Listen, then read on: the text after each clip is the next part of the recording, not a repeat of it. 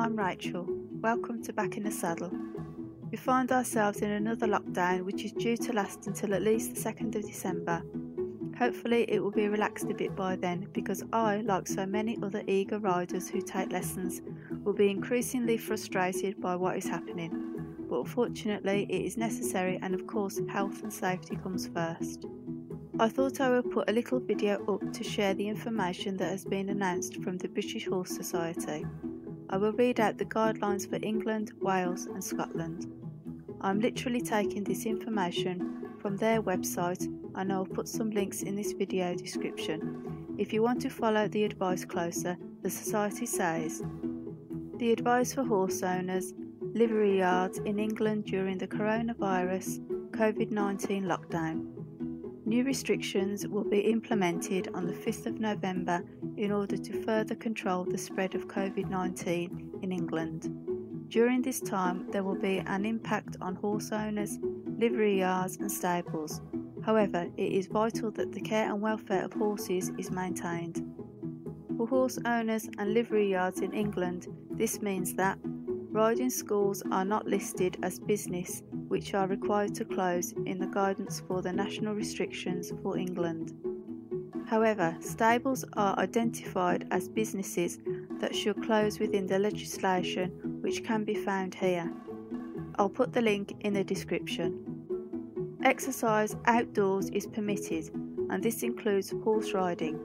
This can be undertaken with the people who you live with, your support bubble, one other person. You can travel for exercise if you need to make a short journey to do so. You are permitted to leave your home to care or exercise an animal or horse where they are not kept at home. You can leave your home to seek advice about the health or welfare of your horse, including veterinary, farrier, dentistry, and physiotherapy treatments. When visiting a livery yard, or stables, you should avoid unnecessary social contact and gathering with people who you do not live with. You should follow the COVID protocols which are in place and maintain social distancing. You should not visit a livery yard if you have coronavirus symptoms, are waiting a test result, if you live with anyone who is exhibiting symptoms or who has tested positive, or if you have been notified to self isolate via track and trace. Please note, all advice and guidance is subject to change as and when the government issues further details. This advice will be updated when further details are issued. Whilst this is BHS interpretation and advice, we strongly recommend that you consult with both your insurance provider and local authority to help make the right decisions for your businesses and circumstances.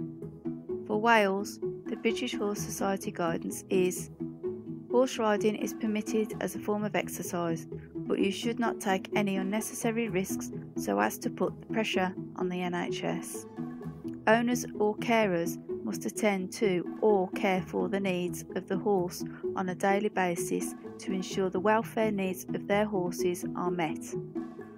You can seek emergency treatment from a vet. You can transport horses in an emergency, but other travel should be avoided.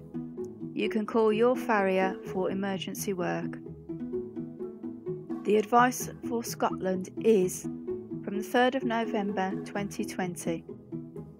Travel should be restricted for sport, exercise, training, and competition purposes to your own local authority or within a 5 mile radius of your local authority boundary if travelling into a neighbouring area.